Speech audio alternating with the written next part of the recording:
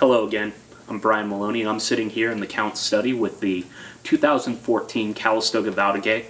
Valdiguie is one of the great varieties of old California. This was actually a variety that was bred in the south of France and uh, was somewhat unknown in that area, but in California really shown as this lighter style but still rich and very complex red wine.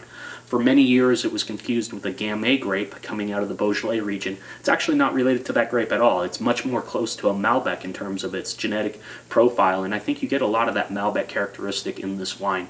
We treat this grape much like we do with Pinot Noir, where we're just very soft in its extraction. It ages with no new oak and really lets that very bright fruit and also the terroir where it's grown shine through. On the nose, you get these small blue fruits. This wine really reminds me of its terroir. It is a Calistoga wine. You get that ferrous iron quality in the nose. Uh, makes you think of that red uh, clay soils that you see, especially on the east side of the Appalachian.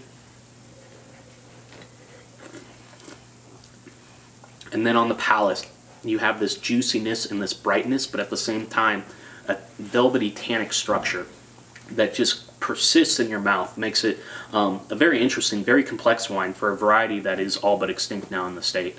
And so uh, one to savor and one to enjoy. Cheers.